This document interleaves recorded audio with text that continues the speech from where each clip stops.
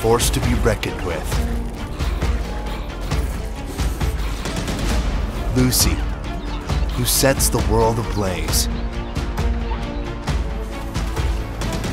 Joey, a mighty yet gentle giant.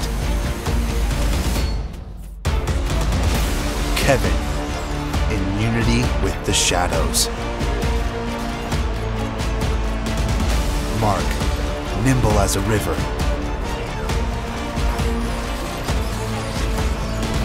Linda, the one that never misses. They say when trouble comes, family means the world. And for the Bergsons, it is now more true than ever.